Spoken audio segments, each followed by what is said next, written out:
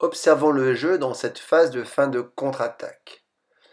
Nous observons dans les deux situations que le ballon va régulièrement dans l'espace avant et qu'un tir est déclenché. Par contre, ce tir est effectué en situation d'opposition. La joueuse bleue, ici, déclenche son tir alors qu'une passe éventuellement serait possible à un autre joueur. C'est le cas aussi de la joueuse numéro 5 verte qui déclenche un tir sans prendre le temps d'analyser le jeu. Prenons le temps d'analyser plus finement le sens de l'activité des joueurs de l'équipe bleue dans cette attaque. On se trouve avec la balle en avant, il y a là toute une série d'innovations.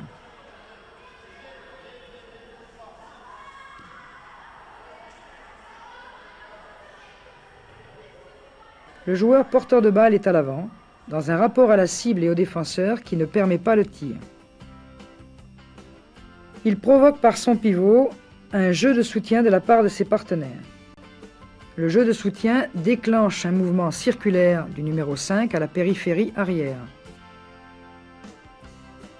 Dans un rapport à son adversaire défavorable, il choisit de pénétrer à l'intérieur de l'espace de jeu, ou encore contourner son partenaire dans un tourne-autour bénéficier ainsi de son écran.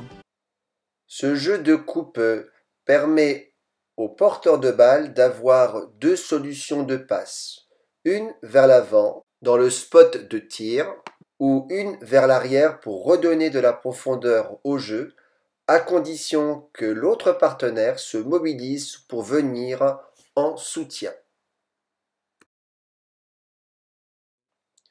Par contre, dans cette situation, le ballon est aussi dans l'espace avant, mais le joueur 12 jaune ne déclenche pas de mouvement vers le panier. Il revient sur ses pas, ce qui crée un blocage du mouvement de son partenaire qui aurait pu venir en soutien.